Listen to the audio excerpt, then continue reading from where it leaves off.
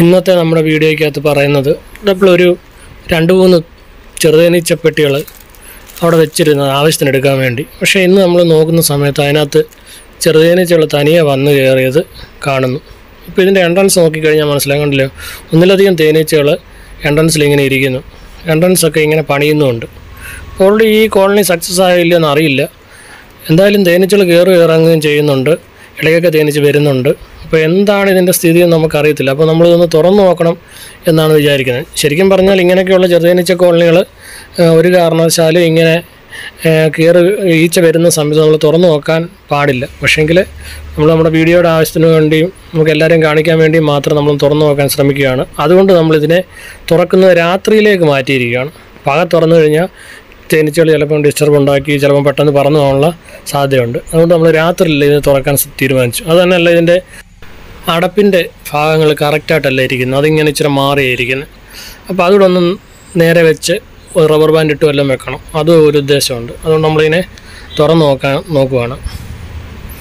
നമ്മൾ തുറന്ന് നോക്കുന്ന സമയത്ത് കണ്ടാൽ മനസ്സിലാകാൻ കണ്ടില്ലേ കുറച്ച് ഈച്ചകൾ ഏകദേശം കുറച്ച് ഈച്ചകൾ മാത്രമേ ഉള്ളൂ ഈ കൂട്ടിൽ ഒരുപക്ഷെ ഇങ്ങനെ ആയിരിക്കും. ചെറുതേനീച്ച കോളനികൾ വരുന്നതിന് മുമ്പേ കുറച്ച് ഈച്ചകൾ മാത്രം കൂടുകൾ വന്ന് എല്ലാം റെഡിയാക്കിയതിന് ശേഷമായിരിക്കും ബാക്കി തേനീച്ചകളും വരുന്നത്.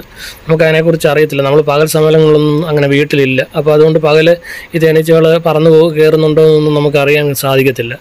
അപ്പോൾ നമ്മൾ രാവിലെ നോക്കിയ സമയത്തിലാണ് ഒരു ദിവസം ഇങ്ങനെ കണ്ടത്. അപ്പോൾ അതുകൊണ്ട് അന്ന് തന്നെ വൈകിട്ട് നമ്മളിങ്ങനെ തുറക്കാൻ ശ്രമിച്ചു. ഇതിനകത്തെല്ലാം തേനീച്ചകൾ കയറി അവിടെ ഇവിടെ എല്ലാം ചെറിയ തോതിൽ മെഴുകളൊക്കെ വെച്ചിട്ടുണ്ട്. അതുപോലെ ഈ കൂടിന്റെ കംപ്ലീറ്റ് ഗ്യാപ്പുകൾ ചെറിയ ഹോളുകൾസ് എല്ലാം അടച്ചിട്ടുണ്ട്. എന്ന് പറഞ്ഞാൽ പുറത്തേക്കുള്ള ചെറിയതായിട്ട് എയർ കയറി വരുന്ന ചില ഭാഗങ്ങളെല്ലാം തേനീച്ചകൾ നല്ല രീതിയിൽ സ്ട്രോങ് ആയിട്ട് അടച്ചു.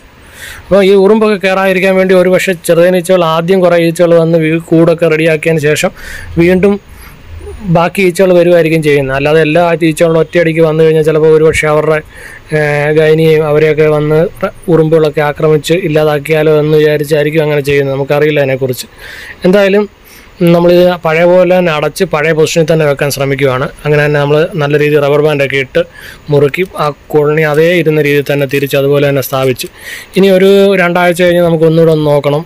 ഇതിനകത്ത് എങ്ങനെയുണ്ട് തേനീച്ചകൾ ഇരിക്കുന്നുണ്ടോ? വേറെ എണ്ണം കൂടിയോ എന്നൊക്കെ ഒന്ന് നമുക്ക് നോക്കിയിട്ട് അതിന്റെ ഒരു വീഡിയോ നമുക്ക് അന്ന് ചെയ്യാൻ പറ്റുന്നതാണ്. എല്ലാവരും നമ്മുടെ ചാനൽ സബ്സ്ക്രൈബ് ചെയ്യണം ഷെയർ ചെയ്യണം.